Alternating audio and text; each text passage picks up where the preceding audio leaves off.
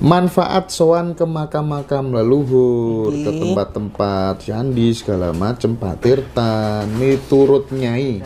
Kita untuk sowan ke situ yang kita minta barokahnya. Barokahnya. Tanpa kita meminta nggih, tempat niku sudah dibarokahi. Jadi kita sekalipun kita masuk kalau tujuan kita itu mendoakan baik, itu sudah masuk dulu barokahnya.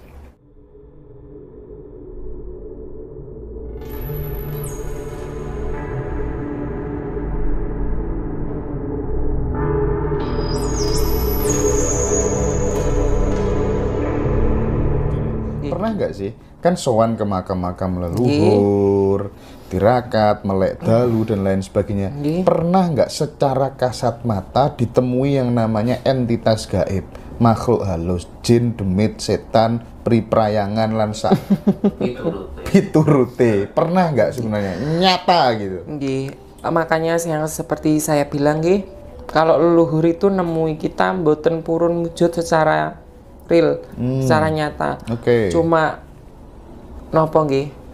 Biasanya dari auranya sudah benten nggih, sudah beda. Terus mboten mewujudkan secara real, secara visualisasinya gambarnya Oke. full gitu mboten purun kalau leluhur seperti itu.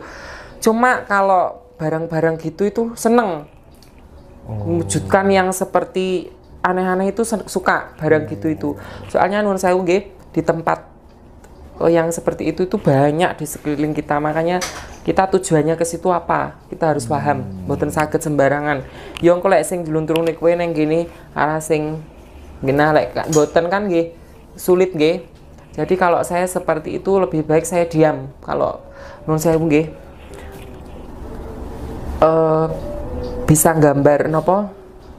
Kelihatan leluhur itu lebih baik saya diam. Karena nun sewu sebelum piyambak rawuh niku kraose kerasanya hawa terus nopo Beda. energinya itu benten sekali beda sekali Oke. oke, jadi oke. piyambaknya sudah eh, dan saya kalau tirakat ke mana pun nggak langsung berangkat saya cari hari dulu nun sewu nggih Oh, gitu ya. saya cari hari dulu terus nun sewu biasanya saya lihat di rumah dulu di tempat eh saged ke sana nopo mboten kan ngoten.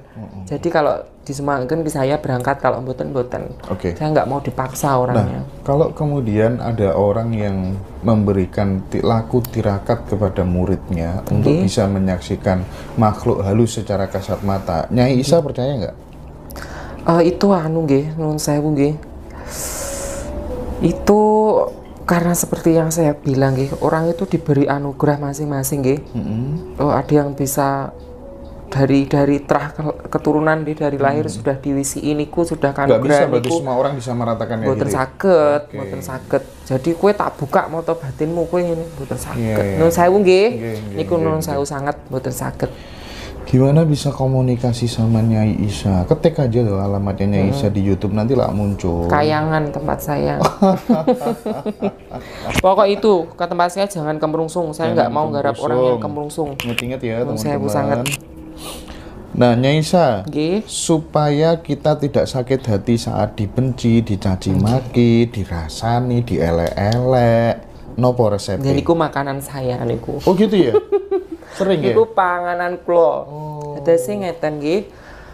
Ya seperti yang Santai tapi ya? santai pol boten Oke. Nes, yang baik saya eh, pakai yang jelek saya buang kan gitu jadi saya filosofinya gini aku urip aku urip.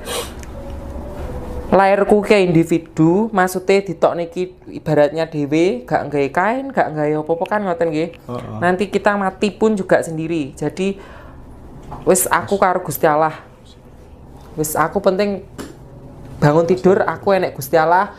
Arep turu aku enek Gusti Allah. Bapak ibuku udah selesai. Jadi omongan orang itu setiap orang setiap manusia itu punya hak untuk berbicara masing-masing nggih.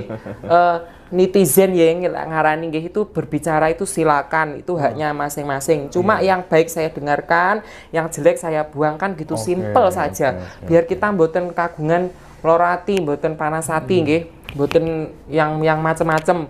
Jadi wis gitu saja yang masuk kita yang baik kita pakai yang jelek kita tinggal udah Iya. Enteng gitu ini saja ya. enteng. Mau kita ke mana pun bebas Evan kan ngoten nggih. Oke. Pertanyaan aja. selanjutnya, apakah sifat-sifat iri, dengki, ya, eh, semacam yang semacam itu bisa menimbulkan penyakit nih? Nggih, leres, leres. Kalau kita punya penyakit hati nggih, eh, iri, dengki, tonggoku tuku kae, aku kok gak, tonggoku tuku kae, oh, aku kok gak. Karena kenapa? Wong neng donya iki isine akeh. Dadi kue tak suntek rezeki sakmene engko mutah kan ngoten. Jadi harus dibagi, dibagi-bagi. Jadi kita nggak boleh engko lek wis tibane wayahe rezekimu teko, ya teko kan ngoten nggih. Lek kowe tak bruki saiki engko mutah kan ngoten. sing ngebruki sing nyuntek sintennya? Nggih kan ingkang wau nggih. Oh, nggih. Jadi nggak bisa terus aku mau paksa gitu. Nah, jadi eh sudah ditakar sendiri-sendiri nggih. Itu nanti tonggoku pengen iki bah aku kudu iso gini gini gini gini gini. Oke. oke. Niki gambarannya saja malih duwe tanggungan. Mm-mm. Pinjam tanggungan ke ini dia mikir otomatis ngangsur mikir jadi dia nggak sakit makan nggak enak nggak tidur mboten sakit akhirnya lambung kan gitu guys secara logika penyakit itu datangnya juga dari pikiran Oke. Penyakit datangnya dari pikirannya Nggih, sendiri. leres niku Pikiran muelek terus ya loro-loronan. nggih loro-loronan wis uripe nyuwan tae penak kan ngoten Tapi nyata loh. Kadang ya kalau kita lihat ya orang tua tanya ya, delok anake wis golek duit angel, Nggih. pe pegatan sisan, dia cepet mati. nggih Ada tuh orang tua yang, waduh, sampai matanya itu nggak bisa lihatnya. Iya. Tapi punya semangat hidup yang luar biasa. Mereka delok anak-anaknya berhasil, sukses. Loh itu fakta loh ya, nggih leres fakta. Mm-mm. Pikiran berarti nyai pikiran nopo-nopo saking pikiran juga Oke, kita lanjutkan teman-teman. Ini curhatannya teman saya. Nggih. Ketika tidur tuh sering mimpi buruk nyai. nggih Nah, gimana nyai biar menghindari mimpi buruk itu? Nah, niku wau nggih. Eh, karena kedoktrin pikiranmu itu pikirannya sendiri. Kedoktrin pikirannya yang biasanya orang-orang seperti itu nun saya sangat nggih. Selalu mimpi buruk ataupun apa itu itu kedoktrin di pikirannya sendiri. Kalau kita nopo nggih? kita bukan seuzon sama orang itu mboten cuma harus berhati-hati. Kan ngoten nggih harus berhati-hati. Jadi kalau kita doktrinnya setiap orang itu jelek mawon nggih ngoten niku akhirnya selalu ke bawah nggih. Sampai ke alam bawah sadar ke alam tidur itu sakit ke bawah nggih niku niku. Yaitu eh, kalau kita mau tidur nggih kita berdoa dulu. Eh, kalau kita niku seperti yang sudah saya bilang nggih kita connect dengan sedulur kita ya kita sambat kita mau tidur itu Oke. disambat sedulurnya Sambat sedulur ya. nggih sambat sedulur niku Terus kadang kan setelah mimpi buruk nyai, nggih kadang kan ada ya mimpi-mimpi buruk itu menjadi bagi sebagian orang itu menjadi pertanda. nggih Bagi sebagian orang itu menjadi pertanda. nggih Nah itu supaya mimpi buruk itu tidak jadi kenyataan. nggih Tips dari Nyai Isa apa? Eh, mimpi buruk tidak da- jadi kenyataan nggih kalau saya pribadi ini saya apa pun saya tempatkan ke saya pribadi Nggih. Eh, karena saya yang mengalami nggih jadi saya tempatkan ke pribadi saya sendiri saya biasanya kalau mimpi buruk nggih kalau tiang Jawa niku pripun nggih enek sing kon ngebong rambut enek sing kon motong iki iki Nah, iki, motong ngobong rambut itu kan dalam rangka jalan untuk yakin supaya itu nggak jadi kenyataan. Nggih. Nah sebenarnya kan tanpa motong, tanpa ngobong rambut, asal dilawan sama pikirannya sendiri kan bisa Nyai. Saged, saged. Padha karo wong nabrak kucing diyakini halah oleh rezeki, ngoten ya. Kan ngoten nggih. Jadi logikanya lek awakmu nyetirmu parane ngulon mesti mlakune kan ngulon nggih. Lek wis sirmu niatmu ngetan ya mesti ngetan kan ngoten nggih. Dadi denggokne mboten saged kan seperti itu.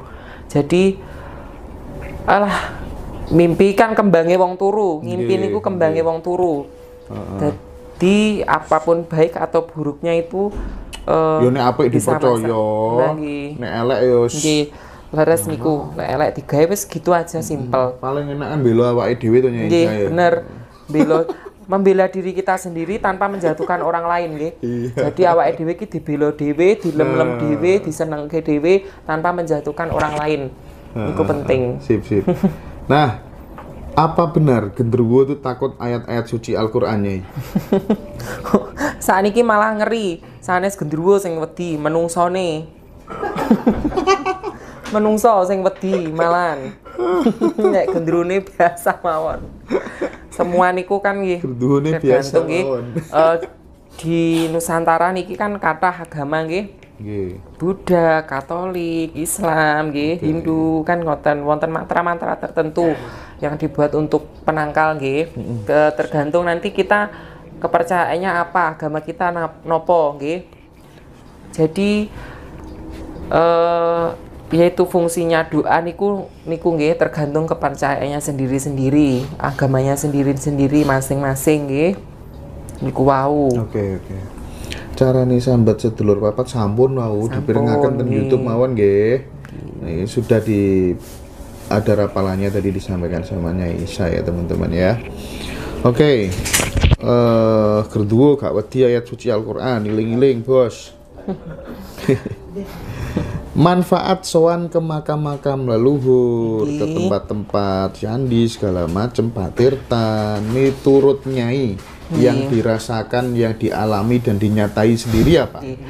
Jadi manfaat niku wau nggih. Kita sowan-sowan ke tempat eh, Leluhur. leluhur nggih, ke lu- tempat leluhur, ke tempat waliullah niku nggih. Eh, ini gini. Sebelum leluhur ataupun wali-waliullah itu mau ibaratnya di tempat situ nggih. Tempat niku sudah ditirakati dulu Ya. dilihat eh, ditirakati, didoakan dulu baru nanti dibuat nopo nggih tempat tempat persemayaman istilahnya gitu Iya, nggih iya. didamel eh, istirahat beliau. Jadi tempat itu sudah didoakan, sudah dikaromai nggih. Nah, kita untuk sowan ke situ yang kita minta barokahnya. Barokahnya. Tanpa kita meminta nggih, tempat niku sudah dibarokahi. Jadi kita sekalipun kita masuk kalau tujuan kita itu mendoakan baik, itu sudah masuk dulu barokahnya. Kita duduk saja itu barokahnya sudah masuk. Sudah masuk ke tubuh kita. Hmm. Energinya lah Energinya ya. sudah sudah masuk. Sudah masuk tergantung nanti kita niatnya apa. Kalau saya saya bilangin ke anak-anak itu kalau ke tempat seperti itu jangan meminta. Didoakan leluhurnya tanpa kita meminta piyambake sudah tahu. Oke. kebutuhan kita nopo niku sudah sudah ngerti. Jadi kita pun kita mendoakan saja. Sudah dapat barokahnya. Wong tempat itu sebelum ditempati beliau itu sudah didoakan sudah ditirakati. Sudah ada karohmahnya sudah ada barokahnya nggih. Dan itu nanti eh, seperti Nun Sewu nggih. Nun Sewu sangat beberapa hari lalu saya ke Jakarta itu saya ke makamnya Mbah Priyo nggih. Itu pas sekali itu apa kemarin? Mbak Rob apa bulan apa itu? Eh hari apa? Rebu Wekasan nggih. Pas hari Rebu Wekasan saya nggak lihat tanggal saya langsung ke sana nggih. Ternyata nuwun sewu sangat ini saya pribadi nggih. Tempat itu memang dibuka secara nyatanya nggih. Cuma nun sewu secara gitunya dibuka. Secara dalamnya nggih Mas dibuka. Jadi cepet-cepet mungkin mungkin nun sewu kalau orang yang bisa melihat itu cepet-cepet berdoa. Karena memang dibuka niku mboten lama nggih. Jadi itu ada ada hari-hari yang memang tempatnya waliullah ataupun tempatnya leluhur itu dibuka. Jadi kita mboten sembarangan ngambil hari nggih. Pas saya ngambilnya itu pas eh, tempatnya itu dibuka yang yang tempat dalam ya istilahnya jalur jalur dalamnya itu Iya, dibuka. iya. Oke, jadi Nyai. itu wah kerasa sekali. Itu pengalaman saya. Banyak banyak. Tapi itu yang paling luas nggih. Tempatnya itu paling lebar Iya, iya. tempatnya paling lebar Tapi dibukanya pernah nggak Nyai Isa saya mohon di Terawang oh Bimo aku ya sing Terawang nah eh pernah nggak Nyai Isa ketika berada di tempat-tempat makam-makam seperti itu terus kemudian mendapatkan pesan begitu Ndo nah, ada nggak kayak gitu Eh, kalau pesan itu eh, banyak nggih. Oh, seperti yang di Mbah Priok kemarin lusa nggih. Itu ya pesannya pokok nun sewu nggih. itu mu- bukan dari beli beliaunya sendiri karena saya di sana juga li- lihat leluhur saya nggih yang saya lihat di sana juga leluhur saya rawuh jadi eh, dia piyambake bilang intinya ya wes lah lakukan iki da- dalanmu kan ngoten nggih oke. lakukan sing sing apik kan ngoten dah itu saja simpel siap. Kok aku ngomong reno-reno dipikirkan malah gitu nggih wong yang tahu itu Iya. kita nih, ngomong saya. ke orang itu belum tentu orang niku Bisa nerima. nggih, bisa nerima kan lebih baik saya diam saja Oke, Terima. siap, siap, siap. Nggih. Nah, jika memang benar-benar ada Nggih, bedanya Ibu Ratu Kidul sama Nyai Roro Kidul itu apa Nyai? sangat benten nggih nuwun sewu nuwun sewu sangat Eh, ibu ibu itu kan kalau saya pribadi nggih gambaran kewelasasian tinggi.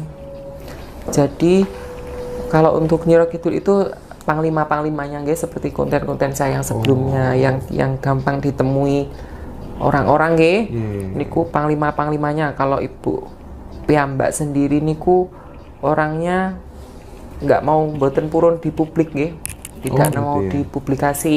Jadi memang wonten Mbok Kidul terus Roro Kidul Nyai Roro Kidul niku wonten itu abdi-abdinya nggih. Kalau ibu sendiri niku mboten purun dipublis. Dan nun sewu nun sang- sewu sangat. Kalau ibu itu lebih wong aku ki mbok ya ibaratnya gitu wong aku mbok. Jadi lebih sederhana ibaratnya gitu nggih. Mboten damel ageman ingkang mabior nggih ingkang Oh, gitu ya. mencolok-mencolok mboten